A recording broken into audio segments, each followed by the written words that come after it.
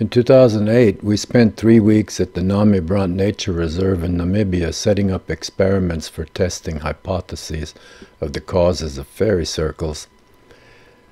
Fairy circles are gaps in an otherwise continuous grassland. This is a satellite image with a wheel track for scale. The causes of these circles have stimulated a great deal of scientific and public interest with a profusion of suggestions from many quarters. The NamibRand Nature Reserve is a six-hour drive from Windhoek, the capital of Namibia. Most of the route is on graded dirt roads such as this.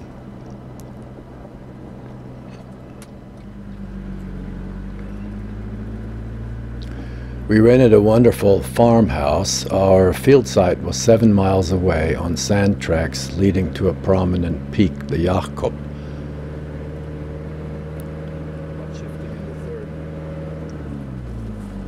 Track passes by one fairy circle after another.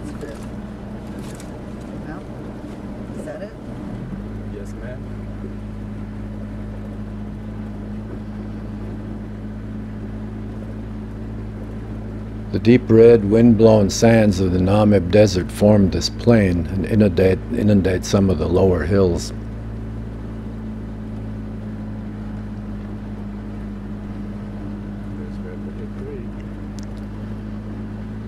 The grassland is composed of two dominant species of bushman grass, a short one forming the matrix and a tall one around the perimeter of the fairy circles.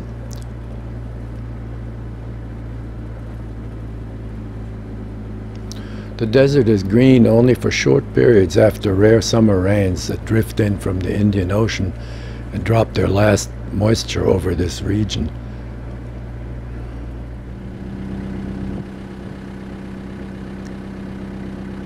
The region is home to several large grazers, zebra, oryx, antelope, ostrich, springbok, and hartebeest.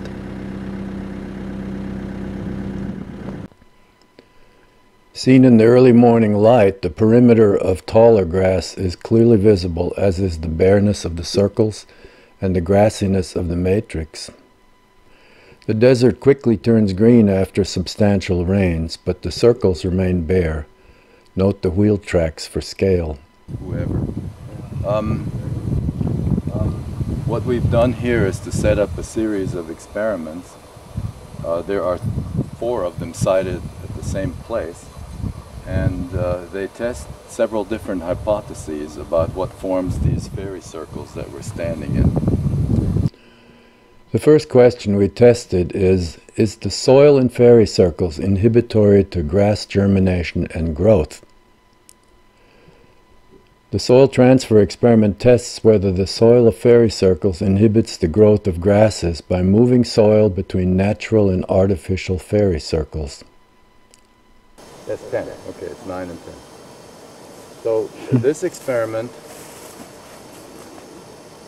we are moving soil from natural circles to these artificial ones. These artificial ones, and those are 6 meters diameter, they're bigger and we're moving soil from the artificial circles to natural circles and from natural to natural as a control and from artificial to artificial as the other control. So two controls, two treatments. If the soil in the fairy circles is inhibitory to germination of plants and growth of plants, then moving matrix soil through the circle should result in reduced growth standing in right now is one in which we've transferred soil from fairy circles to artificial circles that we've made by pulling up the grass. And uh, so that if there if there's something inhibitory in the um, fairy circle soil, then it should reduce growth in the artificial circles. And if we transfer artificial circle soil to fairy circles and the fairy circles are inhibitory, then that should also reduce growth. And then we also do controls where we move it from like to like. Uh, so now um, Elton is going to explain the same thing, more or less, in uh, Nama language. ni circle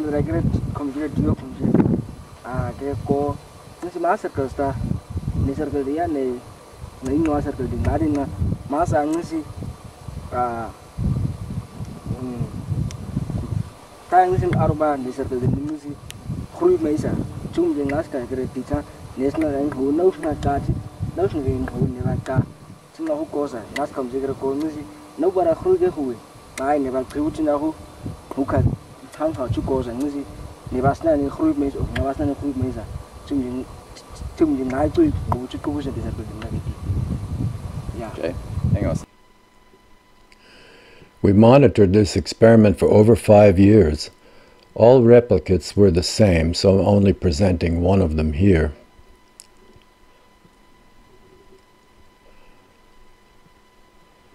This experiment failed to support an inhibitory effect of fairy circle soil.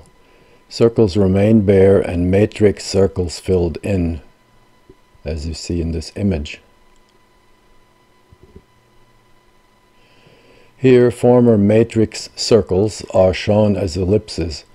Both fairy circles remain bare.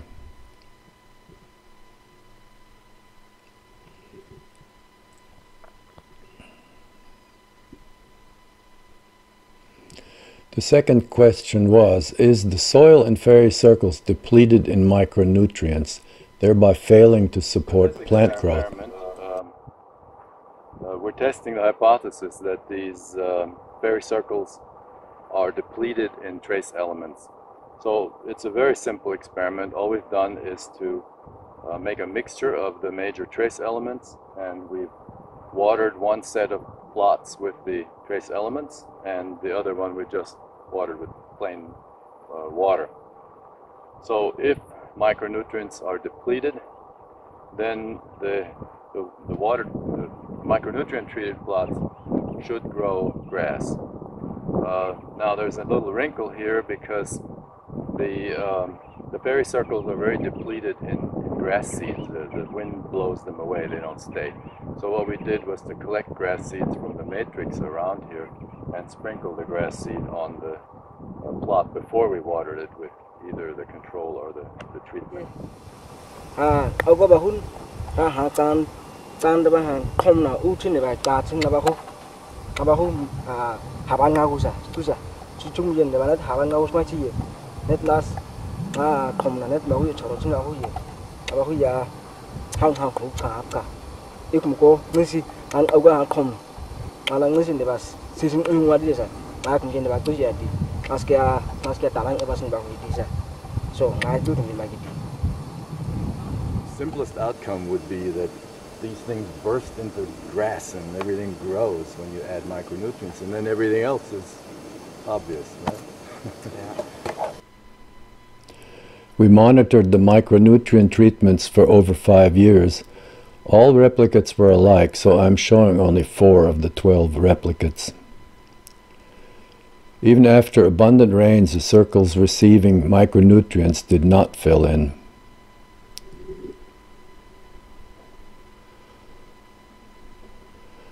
We conclude that fairy circles do not form as a result of micronutrient depletion. The third question we tested was Does a toxic vapor emanating from below prevent plant growth in fairy circles? So in this particular uh, experiment, there is a theory that uh, the fairy circles are caused by some kind of a vapor or toxic material coming up from below ground and killing the grass. So what we've done here is we've dug a hole marked by the four stones and we've lined it with an impervious tarp uh, so that the vapors can't get through. Of course, that also restricts the movement of water down, but we'll sort that out later.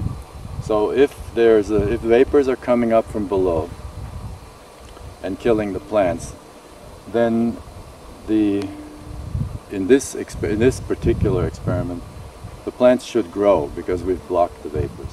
We also did a control in which we just dug up the soil. Elton?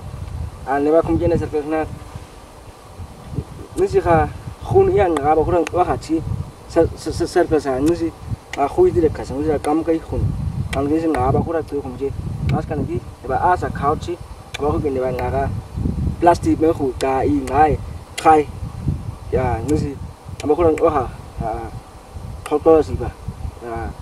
Chayi inta plan ndacebika ngxoxozigamzi ndibanye ngahuqa tumje tumje qaqo wanqabela koxa ngizi nehuyi ka ngaba hugcisa ngaska ndibanye plastic bacha so ngizi ngaske ni chayi in in ngizi hayi ngoko ndibanye plan nakhona ncoha ngaske sikumnceba njani bakho As in other experiments, we monitored the two replicates of the barrier experiment for over five years. Barriers are on the right, controls on the left. Five years later, no plants had grown over the vapor barrier, whose outline is shown by the rectangle. The toxic vapor hypothesis was thus not supported. Question four was, given the regular spacing of fairy circles, is there any kind of interaction among them that might be detectable in plant growth and that would be related to circle distance and size? If a fairy circle influences plant growth in its neighborhood, we should see differences among artificial circles of various sizes and distances. That's two meters from this one, and um, that is a two meter circle that's six meters from this one. And over there here that is a two meter circle that's two meters from this one. And finally this is a uh, four meter circle that's six meters from the central one. No now if if there is an interaction among neighboring then the vegetation that grows in these different sizes and distances should be different it's kind of a long shot experiment. Um, I, I'm not sure I expect much from it, but it's something that had to be done. So the treatments are, are simple. We just simply pulled up all the grasses on these artificial circles. okay? Um, and then the monitoring will be, well, there, there are two dependent measures that we're looking for. Germination in general, and the species that germinate, and secondly, whether the grass around the perimeter is taller than the grass in the circle. So, and that could be because different species do well there, you know, the tall bushman grass. Or it could be because there's more water, or maybe the two are the same thing. Yeah. So that's the one experiment. We monitored these experiments for over five years as well. All replicates showed the same outcome, so only one is presented here. Size and distance of the artificial circles from the real circles had no effect. All artificial circles filled in after the abundant rains of 2011. Here the original artificial circles are shown as ellipses. None of them became real circles or showed differences in vegetation. Altogether, these experiments have failed to support several popular hypotheses. Fairy circle soil is not inhibitory, no toxic vapors emanate from below, and micronutrient depletion does not play a role in formation. In addition, natural fairy circles have little local influence on grass growth in artificial circles nearby.